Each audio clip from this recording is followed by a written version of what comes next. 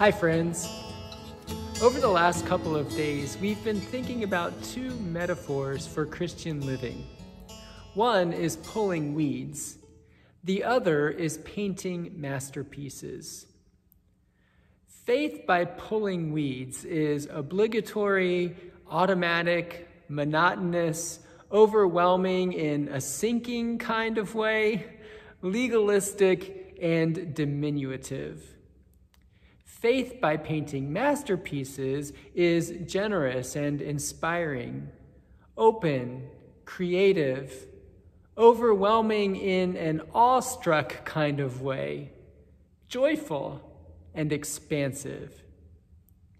God's desire is not that we shrink our purpose down to pulling weeds for a living. God's desire is that we expand our life into the beauty and goodness that is created within us and around us, and to make our life a masterpiece inspired by the holy in the ordinary. Author Stephen Mosley writes, I remember a day in my early 20s when I was slouched in the back pew after a worship service wondering, as usual, why church had to be so boring. The feeble organ music had finally trickled away altogether. Why did the religious life seem to attract mainly the old, those who didn't seem to have the energy to sin?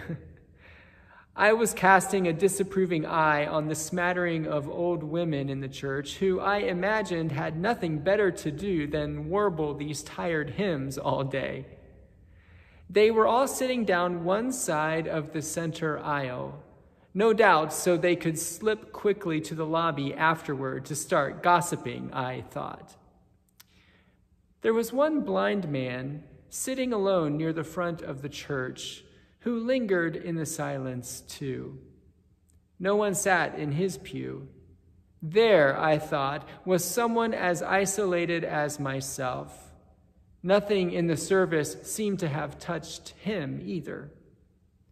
This man finally rose from his pew, fumbled for a huge book thick with braille, and slipped it under his arm.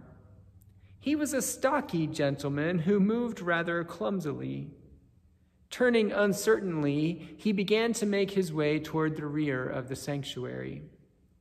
Immediately, the old woman just behind him reached out and clasped his hands tightly.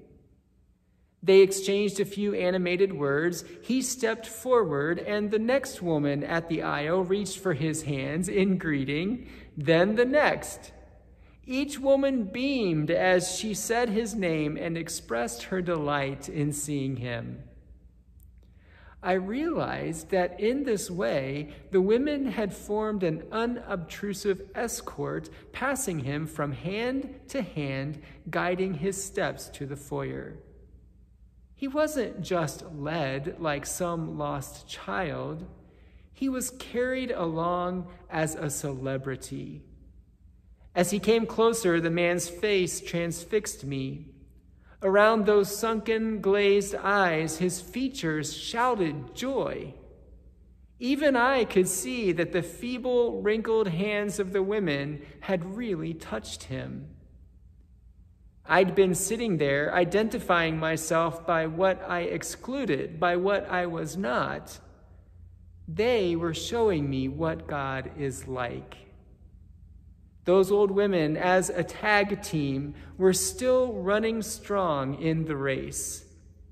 They had something to say, something wonderful to express about the God who leads us with cords of human kindness and with ties of love. Living a Christian life isn't a matter of cutting life down to its proper size.